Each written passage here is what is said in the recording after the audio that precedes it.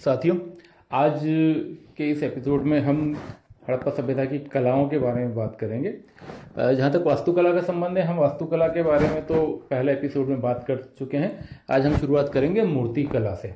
देखिए, जहाँ तक कलाओं का संबंध है, किसी भी संस्कृति की कलाओं का जब हम अध्ययन करते हैं तो न केवल कला के विकास का, बल्कि कला के साथ साथ हमें उस संस्कृति की सृजनात्मकता का उनके जनजीवन का, उनके सोच का और उनकी भौतिक विकास का भी पता चलता है। इसलिए जब कभी हम किसी कलाओं, सभ्यता को, संस्कृति को समझने की कोशिश करते हैं तो उनकी कलाओं का विस्तृत अध्ययन अत्यंत आवश्यक होता है। इसी सिलसिले में हम इस महान विकसित हड़प्पा सभ्यता या जिसे हम सिंधु घाटी की सभ्यता भी कहते हैं, उसके कला जीवन को देखेंगे। जहाँ तक हड़प्पा सभ्यता का सवाल है, यहाँ की कला न केवल इनकी सृजनात्मकता का प्रतीक है बल्कि ये इनके बौद्धिक विकास और साथ साथ इनकी आर्थिक संपन्नता को भी बताती है। जिस बहुआयामी कलाओं का विकास इन्होंने किया वो ये बताती है कि ये संस्कृति कितनी विकसित थी और यहाँ के लोग कितने सृजनात्मक थे। आ, सबसे पहले हम देखेंगे मूर्तिकला के बारे में। हड़प्पा सभ्यता के जिन सौ स्थानों पर खुदाई हुई है, वहाँ मूर्तिकला के अनेक नमूने मिले हैं। ये मूर्तियाँ हैं, पत्थरों की बनी, टेराकोटा की बनी हुई, जिन्हें कच्ची मिट्टी बना, से बनाकर पकाया गया है, और धातु की बनी हुई, धातुओं को ढालकर मूर्तियाँ बनाई गई हैं। ये मूर्तियाँ हैं मनुष्यों की पशु पक्षियों की। ज़्यादातर मूर्तियाँ जो हैं, वो पशु पक्षियों की हैं, लेकिन मनुष्यों की भी कई सारी मूर्तियाँ मिली हैं। इनमें मात्र देवी की मूर्ति और फिर धातु की अन्य मूर्तियाँ भी मिली हैं। विशेषतः एक मूर्ति बड़ी चर्चित है, जो कांसे की बनी हुई है, वो है एक नर्तकी की मूर्ति। ये मूर्ति मूर्ति जिस नर्तकी की है, वो हालाँकि नृत्य नहीं कर रही है, लेकिन वो उसकी प्रतीक्षा कर रही है या उसकी स्टेप में है। और उसकी जो भावभंगिमा है वो बड़ी भावनात्मक है, उसका जो एक्सप्रेशन है, वो उनकी मूर्ति कला की बारीकियों को दर्शाता है। उसके जो आभूषण हैं, जिस प्रकार से उसने एक हाथ में आभूषण बने, वो उसकी नृत्य की तैयारी को दर्शाता है। यहाँ की जो मूर्तियाँ मिली है, उनमें भावनात्मक चीज़ों पर ज़्यादा ज़ोर दिया गया है। तो चाहे वो धातु को ढाल के बनाई गई हो या पत्थरों को काट के बनाई गई हो, इनकी मूर्तियाँ इनकी कलात्मक निपुणता को, सृजनात्मकता को और इनके बौद्धिक विकास को बताती है। खासतौर पे जैसे जो पशु पक्षियों की मूर्तियाँ मिली मिली हैं, उनमें नंदी, हाथी एक सिंग वाला गेंडा की जो मूर्तियाँ हैं, वो उनके प्राकृतिक जो इंटरेस्ट थे, उनको शो करती है। तो मूर्तिकला के बाद हम देखेंगे उनकी चित्रकला। चित्रकला के अनेक नमूने हड़प्पा सभ्यता में मिले हैं। ये चित्रकलाएँ उन्होंने ज़्यादातर उनके जो मिट्टी के बर्तन हैं, उन पे की गई है। और इन चित्रकलाओं में अनेक जामितीय आकृतियाँ इन्होंने बनाई है। ये आकृतियाँ तक्षण मतलब तीखे किसी धारदार तीखे उसके कच्चे बर्तनों पर बनाई गई हैं और उसके बाद में उन्हें पका लिया गया है। इन मूर्तियों में भी चित्रकला नज़र आती है कि उन मूर्तियों पे उन्होंने कोई कलर किए हैं, रंग किए हैं, जो उनकी चित्रकला की निपुणता को बताते हैं। फिर हम आते हैं इनके मृद भांड निर्माण मतलब मिट्टी के बर्तनों का निर्माण। ये देखने में बड़ा अच्छा लगता है कि हड़प्पा सभ्यता के जो निवासी थे, वो मिट्टी के बर्तन बनाने में बड़े निपुण थे। उन्होंने अनेक प्रकार के, अनेक रूप और आकार के वो यहाँ से लेकर इस तरीके से और अनेकों शेप में, वो जो छोटे भी थे, बड़े भी थे, और अनेकों शेप में उन्होंने मिट्टी के बर्तन बनाए हैं और उन पे पॉलिश की गई है। पॉलिश की गई है, उन पे जामिति आकृति बनाई गई हैं, तीखे उनके तीक्षण द्वारा और उन्हें फिर पका लिया गया। तो इनकी डिज़ाइंस और इनका जो आकार प्रकार है, उनकी विविधता, उनकी इस कला में निपुणता को बताता है। और ये लगभग सारे स्थानों पर जहाँ खुदाई हुई है। कहीं ज़्यादा मात्रा में, कहीं कम मात्रा में मिले हैं। इससे ये स्पष्ट है कि ये लोग मिट्टी के बर्तन बनाने की कला में बड़े निपुण थे, जो अनाज का भंडारण करने, द्रव्यों को इकट्ठा करने से लेकर श्रृंगार की सामग्रियाँ, जैसे उपटन पाउडर उनको बनाने के लिए छोटी तरह की डिब्बियाँ और तरह तरह के बर्तन बनाने में ये इन चीज़ों का उपयोग किया करते थे। फिर हम आ जाए आभूषण, निर्माण और धातु कर्म की कला। पहले ले आभूषण। हड़प्पा सभ्यता में यहाँ देखने की बात है कि और तरह के आभूषण मिले हैं जो उनकी श्रृंगार प्रियता को बताते हैं, जो समय की संपन्नता को भी बताते हैं।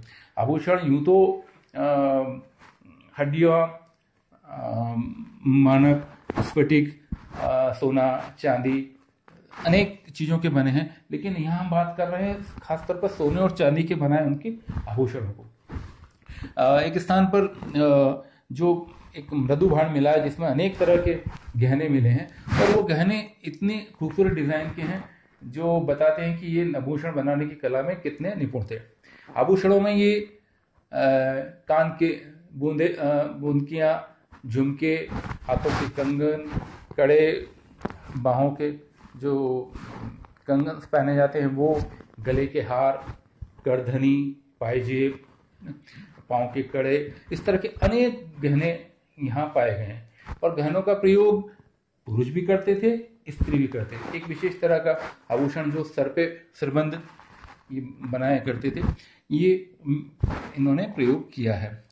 इनकी खूबसूरती को देखते हुए जॉन मार्शल ने तो यहाँ तक कहा है कि हड़प्पा सभ्यता के गहनों को जब हम देखते हैं तो ऐसा लगता है कि ये कहीं चार पाँच हज़ार साल पुरानी किसी सभ्यता के आभूषण न होने, होकर लंदन के किसी जौहरी यहाँ से ताजे ताजे लाए गए, या अभी की डिज़ाइन के गहने हैं। मतलब इतनी बारीकी और इतनी निपुणता इनके गहनों में मिलती है।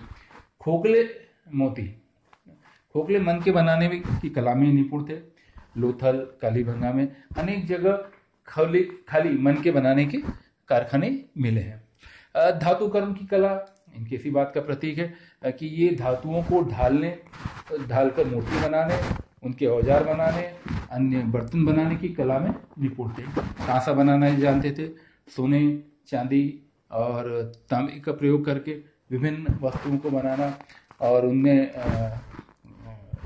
कलात्मक रूप देने में ये निपुण थे। कांसे की बनी मूर्ति और ऐसी कुछ और जो मूर्तियाँ बनी है, वो इनके इसी धातु कर्म का प्रतीक है। अब हम बात करेंगे मुद्रा निर्माण, या जिसे हम इंग्लिश में सील कहते हैं। ये यहाँ बहुत महत्वपूर्ण बात यह है कि हड़प्पा सभ्यता के बारे में हमारी जो महत्वपूर्ण जानकारी है, जो भी जानकारी हमको ज़्यादातर मिली है, वो इन्हीं सीलों के माध्यम से मिली है। हड़प्पा सभ्यता में लगभग तीन हज़ार दो सौ सीलें हमें प्राप्त हुई हैं। ये सील या मुद्राएँ जिन्हें हम कहते हैं, ये पत्थर की बनी है, ज़्यादातर सैल खड़ी की बनी हुई है, और इनमें इनग्रेविंग्स या तो खोद के, या ठप्पा लगा के अनेक चीज़ें उकेरी गई हैं। इनमें पशु पक्षियों की हैं जीव जंतुओं के को उकेरा गया है। इनमें शब्द लिखे गए हैं, कहीं पिक्टोरियल चित्र मतलब चित्रात्मक लिपि में लिखे गए, कहीं कर्सिव राइटिंग्स में लिखे गए। तो ये जो सील है, ज़्यादातर स्क्वायर है, चौकोर कुछ अलग शेप में भी मिली हैं। जो आयताकार हैं या गोल हैं, लेकिन उनकी मात्रा काफ़ी कम है। ज़्यादातर सील है स्क्वायर है। इनमें पशु, खासतौर पे नंदी कुबड़वाल बैल, हाथी, एक सिंह का गेंडा हिरण आदि बहुतायत में बनाए गए हैं और उनके राइट हैंड के साइड में यहाँ कुछ लिखा गया है। अब ये लिखा क्या गया है?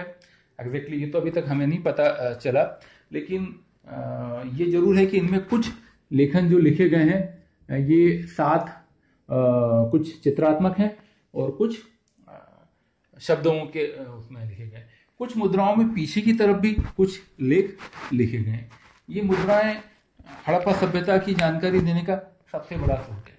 अब ये मुद्राएँ किस चीज़ में उपयोग होती थी, इसके बारे में कोई एकमत जानकारी नहीं है। इनका प्रयोग लेन देन में किया जाता था, या कुछ मानते हैं कि इनका प्रयोग व्यापारी लोग, अपनी जो व्यापारी समिति थी, उन्हें के पंजीयन या उनकी पहचान, उसके लिए क्या करते थे। या कुछ धार्मिक कामों में भी इन सीलों का प्रयोग होता था। तो इसकी उपयोग के बारे में विविध तरह के मत हैं। लेकिन ये ज़रूर है कि इन मुद्राओं का इस सभ्यता में बड़ा महत्वपूर्ण स्थान था। और इसीलिए ये इतनी विस्तृत उसमें बनाई गई है। यहाँ तक कि ये जो आ, हमने धार्मिक जीवन के बारे में जब बात की थी कि पशुपति शिव या योगी शिव की जो मूर्तियाँ मिली हैं वो भी इन मुद्राओं के में रूप में ही हमें प्राप्त हुई है। अब हम बात करेंगे संगीत व नृत्य कला की चूँकि एक बहुत विकसित सभ्यता थी यहाँ के लोग संपन्न थे और उनके पास साधनों का अभाव नहीं था इसलिए निश्चित तौर पर ये मनोरंजन पे बड़ा ध्यान देते थे और संगीत के अनेक आ, ऐसे प्रतीक मिले हैं जिससे हमें लगता है कि लोग संगीत में निपुण थे। त्रिभंगी मुद्रा में जो नृत्य नर्तकी की मूर्ति मिली है, जो ऐसा लगता है कि बिल्कुल नृत्य के लिए तैयार है। वो ये बताती है कि ये लोग नृत्य कला में निपुण थे या नृत्य कला को बहुत प्रेफर करते थे। साथ ही ढोल, वीणा या मृदंग जैसी आकृति भी मिली है। एक, कुछ कई मुद्राएँ मिली है जिनमें व्यक्ति ढोल या मृदंग जैसी आकृत बना रहे हैं। तो ढोल, तबला, इस तरह के जो संगीत के वाद्य थे, उनका अस्तित्व था और ये लोग उनका प्रयोग बड़ी मात्रा में किया करते थे। तो ये इनकी कला के विकास के में बारे में कुछ बातें हैं। वास्तुकला बेशक बहुत निपुण थी और उसके बारे में हम विस्तृत चर्चा पिछले एपिसोड में कर चुके हैं। तो लेखन कला, ये भी हम उसके बारे में बात कर चुके हैं।